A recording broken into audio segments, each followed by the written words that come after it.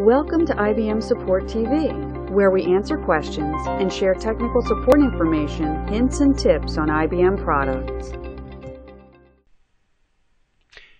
Integrating IBM Integration Bus and WebSphere Business Monitor. This is part 4 in this series of videos and we'll deal with testing. This chart lists all the topics in this four-part video series.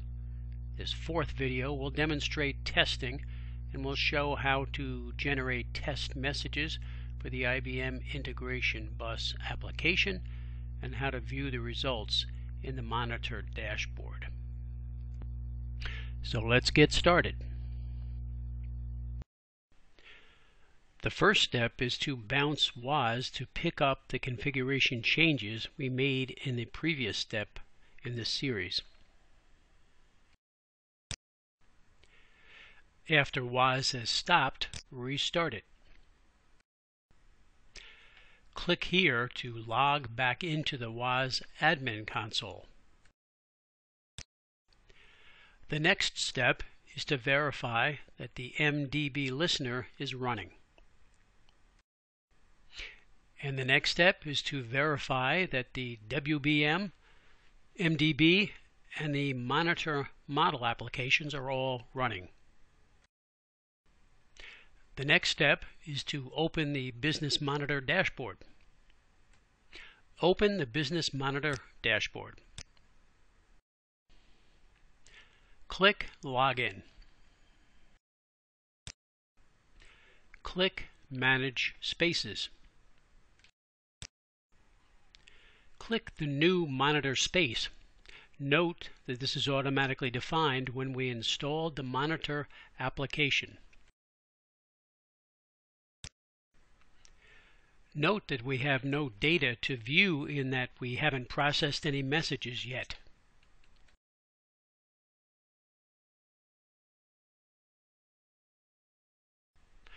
Next step, in the IIB machine, use MQ Explorer to verify the monitor subscription has been automatically created.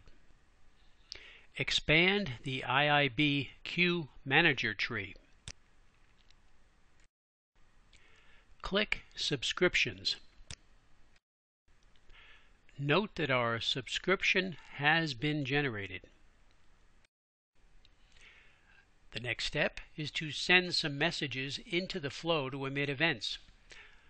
I'm using the RFHUtil tool to do this. Click the Write Queue button Perform this step multiple times to generate some messages. Next step, we're now back on the WBM machine, so let's look at the monitor dashboard. Click the orange arrow in the top right hand corner.